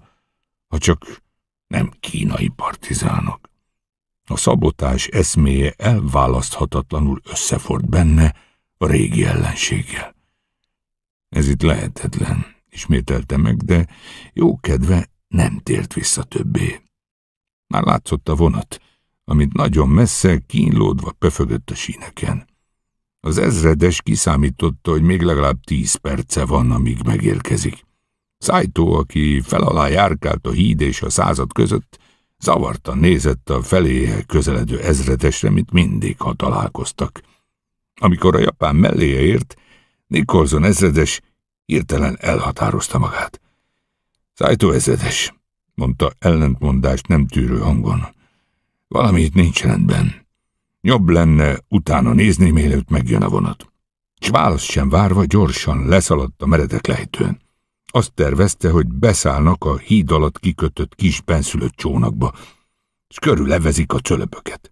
A partra érve ösztönösen egész hosszában végigfuttatta rajta gyakorlott tekintetét, és a csillogó kavicsokon felfedezte az elektromos vezetéket. Nikolson ezredes összeráncolta a szemöldökét, és megindult a zsinór felé. 7. Abban a percben került Sírsz látókörébe, amikor ruganyos lépteivel, amit a naponta végzett mérsékelt testgyakorlásnak és a hagyományos igazságok békés tanulmányozásának köszönhetett, lesietett a meredek lejtőn. A japán ezredes nyomon követte. Sírsz csak most értette meg, hogy a bal sors még nem játszotta ki valamennyi kártyáját. Joyce már rég megpillantotta Nicholson ezredest. Mint hogy sikerült hipnotikus állapotba bűvölnie magát, különösebb izgalom nélkül figyelte, hogy mit művel a hídon. És amikor szájtó körvonalait is meglátta mögött a parton, megragadta a tőrét. Shields észrevette a vezetékhez közeledő Nicholson ezredest, aki szinte maga után vonszolta a japán tisztet. Ebben a képtelen helyzetben valósággal hisztérikus roham tört ki rajta, és beszélni kezdett magával, és még ő viszi oda, az angol vezeti. Ha meg lehetne magyarázni neki, ha csak egy szót, egyetlen egy szót mondhatnánk neki. A távolból már hallatszott a kehes mozdony gyönge pöfögése. A japánok bizonyára valamennyien a helyükön vannak, hogy ünnepélyesen fogadják a vonatot. A táborból nem lehetett látni a parton tartózkodó két férfit. Number van dühös mozdulatot tett, amint egy szempillantás alatt pontosan megértette a helyzetet, és egyelőre kifogástalan reflexeiben félreérthetetlenül megérezte, Milyen elkerülhetetlen akciót parancsol ebben a helyzetben a plastik és rombolás Kft. a zászlaja alá felsorakozott férfiaknak. Ő is megragadta a tőrét. Kirántotta a derék szíjából, és előírásos módon maga elé tartotta, miközben lefelé fordított kezének ujjai alulról szorongatták a markolatot, üvelykújja pedig a pengetővéhez simult. Nem azért, hogy használja a fegyvert, hanem hogy eszeveszett kísérletet tegyen Joyce szuggerálására, engedve ösztönének, amely az előbb arra kényszerítette, hogy tekintetével az őrjárat mozdulatét kövesse. Nikolson ezredes megállta a vezeték előtt. Szájtó kurta lábával kacsázva közeledett. A délelőtt minden izgalma jelentéktelen volt, ahhoz az izgalomhoz képest, amelyet Sírsz ebben a pillanatban érzett. Hangosan kiabálni kezdett, és közben tőrével az arc előtt csapkodott. Nem bírja megtenni, nem bírja megtenni. Vannak dolgok, amiket nem lehet megkövetelni egy fiatal fiútól, aki rendes nevelést kapott és rajzteremben töltötte az ifjúságát. Őrült voltam, amikor engedtem neki. Nekem kellett volna elfoglalnom a helyét. Nem bírja megtenni. Szájtó utolérte Nikolson ezredest, aki lehajolt, és kezébe vette vezetéket. Sír szíve vadul dörömbölt a melkasában, mintha csak kísérni akarta volna benne zúgó, eszeveszett és esett panaszt, amely mérges mondat töredékekben szakadt ki belőle. Nem bírja megtenni még három perc, három perc, és a vonat megérkezik. Nem bírja megtenni. Az egyik tájföldi partizán, aki a fegyvere mellett feküdt, ilyet pillantásokat vetett rá. A dzsungel szerencsére elnyelte hangját. Minden izma megfeszült, görcsösen markolta a tört, amelyet most mozdulatlanul tartott a szem előtt. Nem bírja megtenni mindenható Isten, ad, hogy érzéketlen legyen, hogy tíz másodpercre megvaduljon. De mi alatt ezt az esztelen imát mondta, észrevette, hogy valami megmozdul a vörhenyes falat, s a bokrok szétnyílnak. Teste megmerevedett, lélegzet elakadt.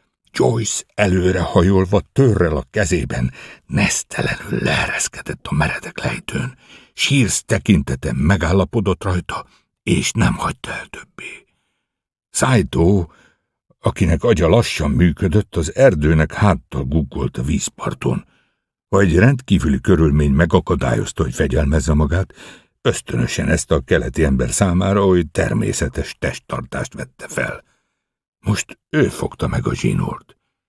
Sírsz egy angol mondatot hallott. Ez valóban nyugtalanító, szájtó eszretes. Rövid csönd következett. A japán a vezeték szálait piszkált az ujjával. Joyce észrevétlenül a két ember mögé ért. De az Istenért üvöltött fel hirtelen Nikolson ezredes. A híd alá van aknázva szájtó ezredes. Az ott a cölöpökön az ördögbe is robbanóanyag, és ez a vezeték. A dzsungel felé fordult, mielőtt Szájtó az előbbi szavak súlyát latolgatta. Sírsz tekintette még feszültebb lett. Abban a pillanatban, amikor ökle jobbról balra lendült, a nap vízfényének villanását látta a túlsó parton, és a guggoló ember tartásában azonnal észrevette a várt változást. Megbírta tenni.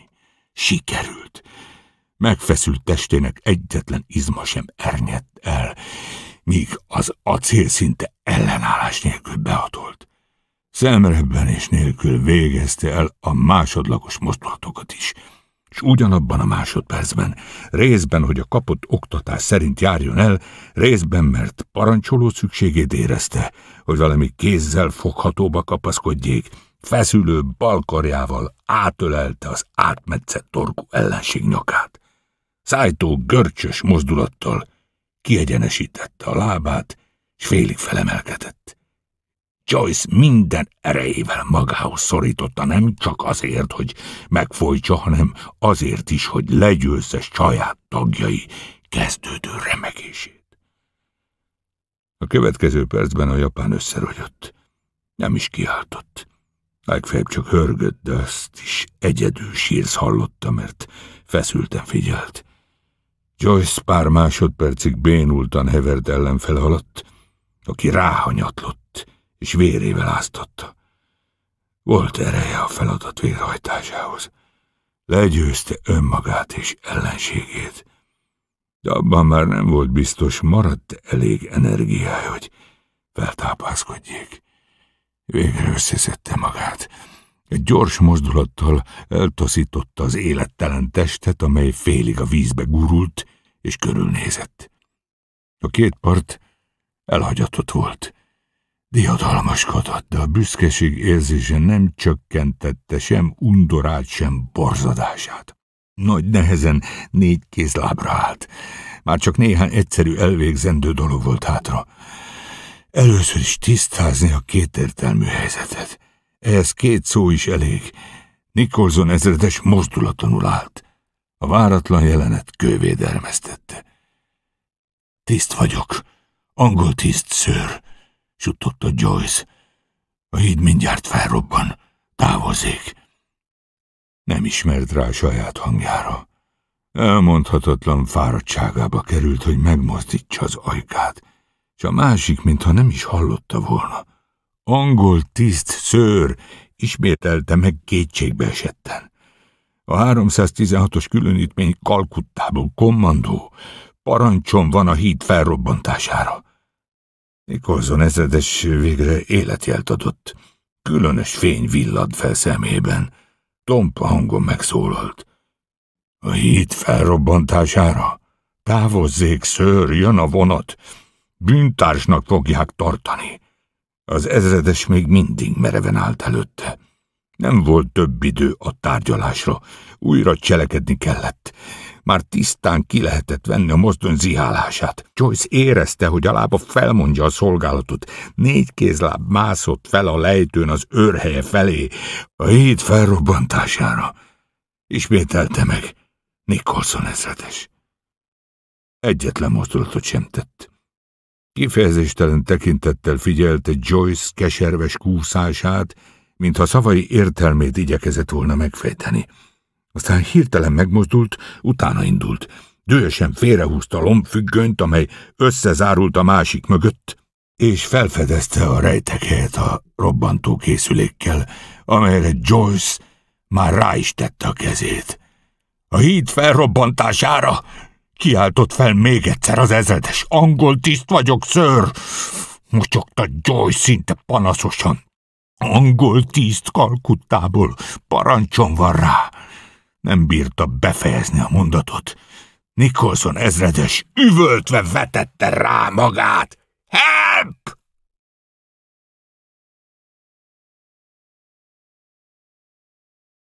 Nyolc. Két embert vesztettünk, némi kár, de a híd érintetlen, hála a brit ezredes hősiességének. Így hangzott a tömör jelentés, amelyet a trió egyetlen életben maradt tagja, Warden szálláshelyükre való visszatérésekor Kalkuttába küldött. A jelentés elolvasása után Green ezredes úgy vélekedett, hogy az ügy több pontja még mindig homályos, és bőven magyarázatot kért. Gordon azt válaszolta, hogy nincs több mondani valója. Parancsnok ekkor megállapította, hogy Warden már is elég sokáig maradt a tájföldi dzsungelben, és nem szabad egy embert magára hagyni azon a veszélyes poszton, egy olyan vidéken, amelyet a japánok valószínűleg át fognak kutatni. A 316-os különítmény éppen ez időtájt kapott komoly erősítést. Másik csoportot dobtak le ejtőernyővel egy távol övezetben, hogy tartsa a kapcsolatot a tájföldiekkel. Warden pedig visszarendelték a központba. Egy tengeralattjáró ment érte a Bengálöből egyik elhagyatott partjára, amelyet Warden két heti kalandos gyaloglás után el is ért. Három nappal hajóra szállása után megérkezett Kalkuttába, és jelentkezett Green ezredesnél. Először röviden vázolt az akció előkészületeit, majd rátért a végrehajtásra. A hegy tetejéről tanúja volt az egész jelenetnek. Egyetlen mozzanat sem került el a figyelmét.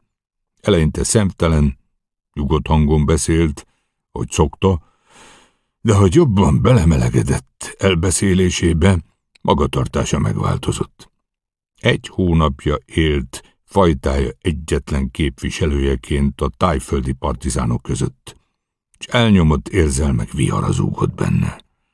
A dráma szakadatlanul újjászülető epizódjai kavarokba fortak a koponyájában, és minthogy szenvedélye volt a logika, ösztönösen igyekezett mindent megtenni, hogy észszerű magyarázatot találjon rájuk, és néhány általános alapelvre vezesse vissza őket.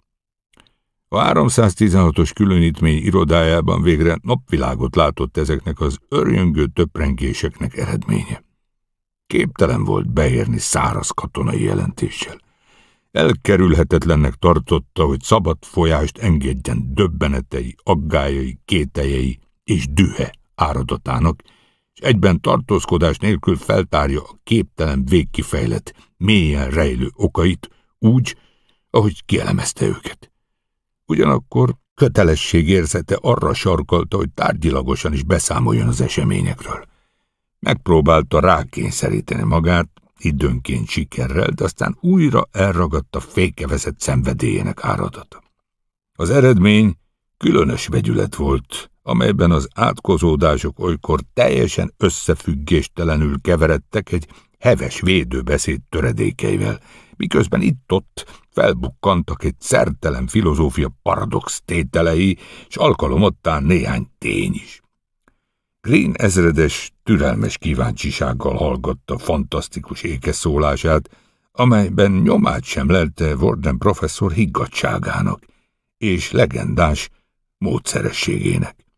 Őt elsősorban a tények érdekelték, de csak ritkán szakította félbe alárendeltjét.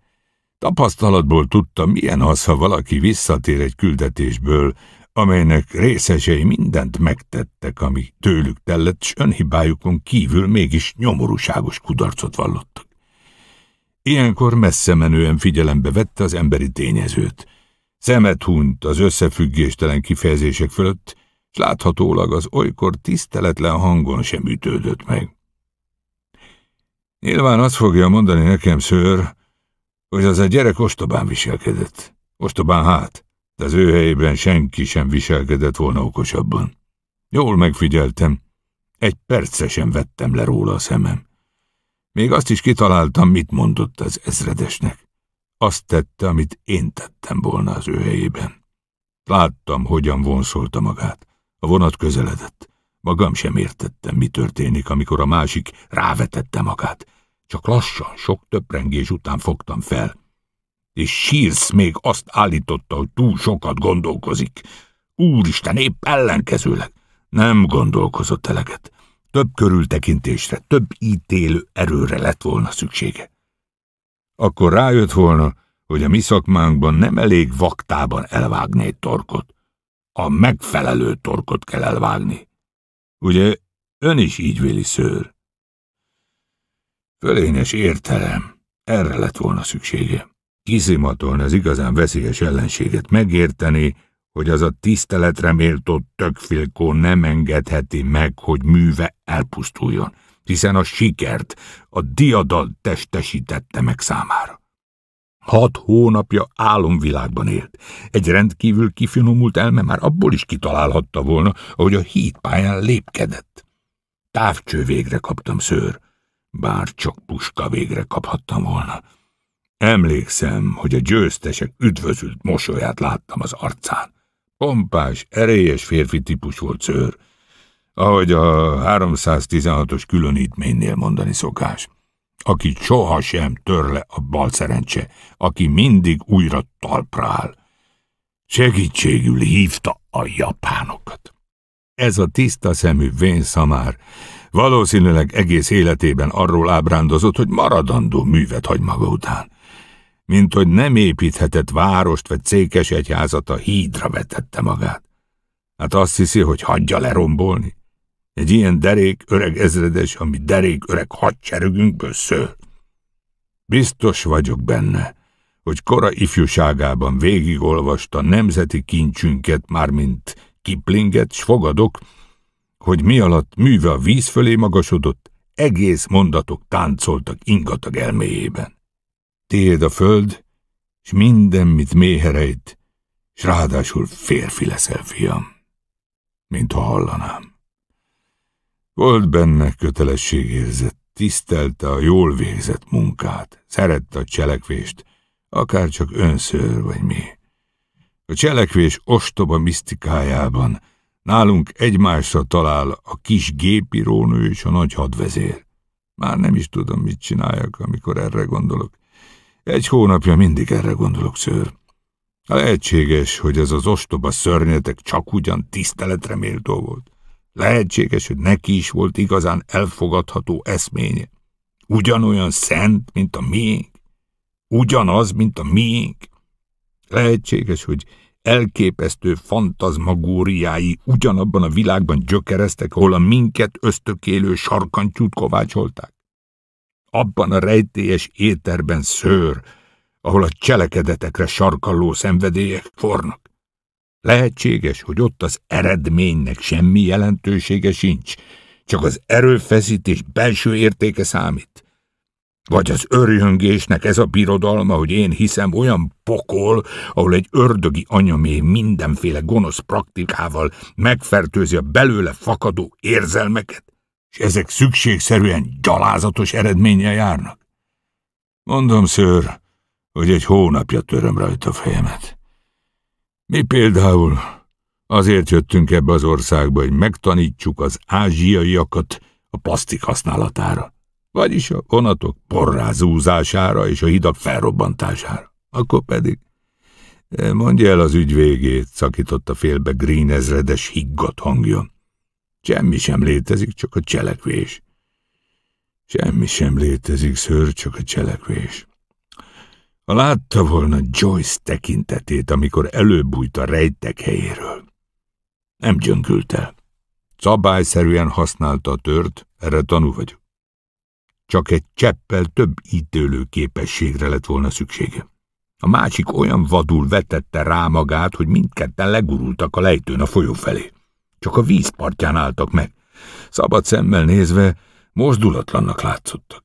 Én a távcsövön részleteket is láttam. Egymáson feküdtek. Az egyenruhás test földhöz szögezte a vérfoltos, mesztelen testet, teljes csúlyával ránehezedett, és két örjöngő keze a torkát szorongatta. Nagyon tisztán láttam. Szétvetett karral hevert a hulla mellett, amelyben még akkor is benne volt a tőr. Ebben a pillanatban megértette tévedését, szőr, ebben biztos vagyok. Rájött, ezt tudom, rájött, hogy eltévesztette az ezredesét. Láttam. A keze egészen közel volt a fegyver markoltához. Megragadta, megfeszült, szinte láttam az izmok játékát. Egy pillanatig azt hittem, hogy elszállja magát, de túl késő volt. Nem volt több ereje. Minden tartalékát felhasználta. Nem bírta megtenni. Vagy nem akarta. A nyakát szorongató ellenség valósággal megbénította. Eleresztette a tört, elhagyta magát. Teljesen elernyett szőr. Tudja, milyen az, amikor az ember feladja arcot? Beletörődött a vereségbe. Az ajka megmozdult, egy szót mondott, senki sem tudhatja, káromkodás volt-e, vagy fohász, vagy a reménytelen lemondás kiámbrándult, illedelmes kifejezése. Nem tartozott a lázadók közé szőr, legalábbis nem látszott rajta. Mindig tiszteletteljesen viselkedett a feletteseivel. Uramisten! Sírsz meg én alig bírtuk rávenni, hogy ne kapja magát vigyázva, valahányszor velünk beszélt. Lefogadnám, hogy szőrnek szólította. Szőr, mielőtt végleg lehunta a szemét. Minden rajta múlott. Mindennek vége volt. Több esemény zajlott le ebben a percben, több tény, ahogy önnevezi őket szőr. Összekavarodtak bennem, de később kibogoztam őket. A vonat már közel volt.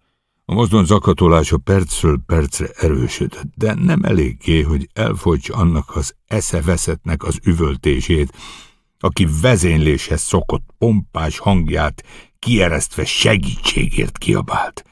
Tehetetlenül álltam, szőr. Én sem lettem volna különb a fiúnál, én sem. Senki. Talán sírsz? Sírsz.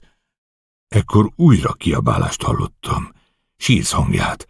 Az egész völgyet betöltötte, mintha egy dühöngő őrült kiabált volna szőr. Csak egyetlen szót bírtam kivenni. Szúrj! Ő is megértette hamarabb, mint én, akkor már semmi haszna sem volt. Pár pillanat múlva egy embert láttam a vízben. Az ellenséges part felé úszott. Ő volt az. Sírsz. Ő is a mindenáron való cselekvés hívei közé tartozott. Esztelenül cselekedett. Megőrítette az a délelőtt akárcsak engem. Semmi esélye sem volt. Kis héján magam is odarohantam, pedig több mint két órára lett volna szükségem, hogy leérjek a kakasülömről. A legkisebb esélye sem volt. Eszeveszetten úszott, mégis pár percig tartott, amíg átért. Közben a vonat átment a hídon szőr, a Kváj folyó nagyszerű hídján, amelyet a testvéreink építettek. Ugyanabban a percben, ugyanabban a percben emlékszem rá, a lejtőn lerohant egy csapat japán katona, akiket az ordítás csaltott. Ők fogadták sízt, amikor kimászott a vízből. Kettőt leszúrt közülük, Két tördöfésre szőr, egyetlen részletet sem mulasztottam el. Nem akart élve kerülni a kezükbe. De puskatussal fejbe vágták. A földre zuhant. Joyce nem mozgott már. Az ezredes felállt. A katonák elvágták a vezetéket. Nem maradt semmi szőr, amit meg lehetett volna próbálni. Mindig akad valami, amit meg lehet próbálni szólalt meg Green ezredes hangja. Mindig akad valami szőr, amit meg lehet próbálni. Akkor következett be a robbanás. Senki sem gondolt rá, hogy megállítsa vonatot, és az ráfutott a csapdára, amelyet a hídon túl éppen a figyelő állásom alatt készítettem elő. Még szerencse. Egészen megfeledkeztem róla. A mozdony kisiklott, két-három kocsit magával rántott a folyóba. Néhány ember megfulladt. Egy csomó hadianyag tönkremelt, de csak annyi kár esett, amit pár nap alatt ki lehet javítani. Ez volt az eredmény. A túlsó parton azért támadt némi izgalom. Mégis azt hiszem elég szép látvány lehetett, jegyezte meg vikasztaló hangon Green ezredes. Nagyon szép látvány azoknak, akik igazán szeretik szőr. Éppen ezért arra gondoltam, hát ha még szebbé tehetném valamivel. Én is alkalmaztam az alapelveinket, ször. Komolyan törtem a fejem abban a percben, akad-e valami, valamilyen akció, amit meg lehet kísérelni. Mindig akad valami, valamilyen akció, amit meg lehet kísérelni, ismételte meg Green ezredes távoli hangja. Mindig akad valami, amit meg lehet kísérelni. Ez nyilván igaz, hiszen mindenki ezt mondja. Cheersnek is ez volt a jelszava. Idejében eszembe jutott. Gordon elhallgatott egy pillanatra, mert nyomasztotta ez az utolsó emlék, majd alkabban folytatta. Én is gondolkoztam, szőr. Olyan mélyen elgondolkoztam, amennyire csak lehetett, mielőtt a katonák Joyce és Shees körül tömörültek. Az utóbbi biztosan élt, és talán a másik is, bár az a nyomorult csirkefogó alaposan megszorongatta. Csak egyetlen lehetőséget láttam az akcióra, szőr. A két partizán még mindig ott állt a posztján, az aknavetők mellett. Ugyanúgy lőhettek a japánokra, mint a hídra, és ez legalább annyira indokolható volt. Ezt a célt adtam meg. Még vártam egy kicsit. Láttam, hogy a katonák felrángatják a foglyokat, el akarják vezetni őket. Mind a ketten éltek. Ennél rosszabb nem is történhetett volna. Nicholson ezredes mögöttük halott, lehajtott fejjel, mint aki elmerülten elmélkedik. Annak az ezredesnek az elmélkedése szőr. Gyorsan határoztam, amíg volt rá idő. Parancsot adtam a tüzelésre. A tájföldiek azonnal megértették. Jól kiképeztük őket, szőr. Szép tűzi játékot rendeztek. Ez is nagyszerű látvány volt a figyelőállásból. Csak úgy száporoztak a lövedékek. Magam álltam az egyik aknavetőhöz. Kitűnő irányzó vagyok. Eredményes volt? Szakította félbe Green ezredes hangja. Eredményes, szőr. Az első aknagránátok a csoport közepébe hultak. Micsoda szerencse! Mindkettőjüket darabokra tépték. Megbizonyosodtam róla, megnéztem távcsövön. Higgyel, szőr, igazán higgyel. Én sem akartam befejezetlenül hagyni a munkát.